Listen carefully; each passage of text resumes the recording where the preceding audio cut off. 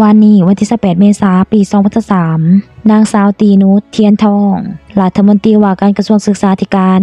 พร้อมด้วยนิรุตติ สุทธินนท์ผู้ช่วยรัฐมนตรีประจำนายกรัฐมนตรี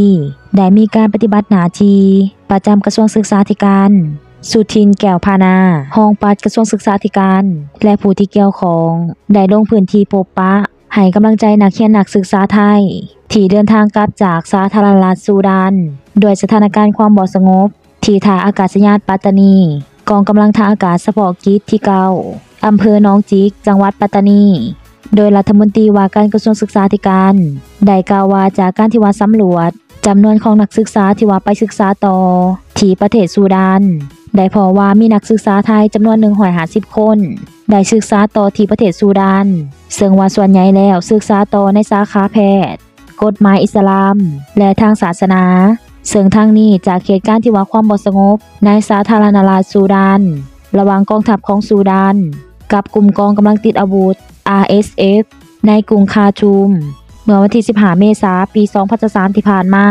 ซึ่งว่าหน่วยงานลักของภาครัฐ ได้แก่กระทรวงการต่างประเทศ สภาความมั่นคงแห่งชาติได้มีการประสานงาน และจัดตั้งศูนย์ประสานงาน นักเรียนนักศึกษา จังหวัดชายแดนภาคใต้ ที่ว่าศึกษาต่อในต่างประเทศายในศูนย์อำนวยการบริหาร จังหวัดชายแดนภาคใต้เหตุนาทีเป็นศูนย์กลาง ในการประสานงานส่งข้อมูลจากญาติและผู้ปกครองของนักศึกษา เพื่อว่าดูแลความปลอดภัยในการเดินทาง โดยกองทัพอากาศได้มีการจัดเตรียมเครื่องบิน เพื่อว่าเป็นการอพยพคนไทยกลับแผ่นดินเกิด ในระหว่างวันที่17ถึง18เมษายนปี 2023ในจำนวน 3 เที่ยวบิน รัฐมนตรีว่าการศึกษาธิการได้กล่าวต่อไปว่ากระทรวงศึกษาธิการ โดยสคจสต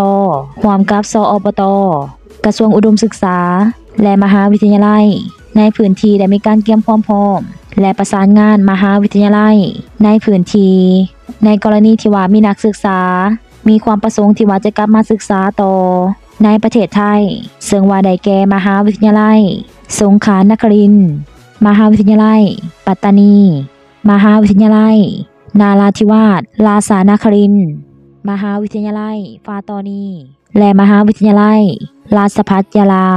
พร้อมการเทียบโอนไลน์วีซ่าเพื่อว่าหับเขาศึกษาต่อในมหาวิทยาลัย ซึ่งว่าเป็นการลดอัตราการตกหล่นของผู้เรียนสำหรับนักศึกษากรณีที่ว่าสำเร็จการศึกษาแล้ว จะมีการอำนวยความสะดวก ในการเทียบคุณวุฒิการศึกษา ในกรณีที่ว่านักเรียนนักศึกษา มีความประสงค์ที่ว่าจะศึกษาต่อในประเทศไทย ซึ่งว่าทางกระทรวงศึกษาธิการ ได้มีการประสานงานกับมหาวิทยาลัยในพื้นที่ เพื่อว่าจัดเตรียมสถานที่เรียนให้มีความพร้อมทั้งนี้การศึกษาสามารถเปรียบเทียบ คุณวุฒิการศึกษา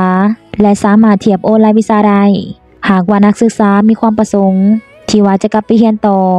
หลังจากที่ว่าสถานการณ์ มีความขี่คายลงซึ่งว่าจะมีการเตรียมความพร้อม และสร้างความเข้าใจแก่นักศึกษา